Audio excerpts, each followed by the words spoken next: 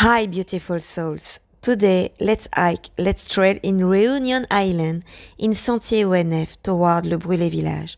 A quiet, beautiful, and long walk to take a deep bath in the forest.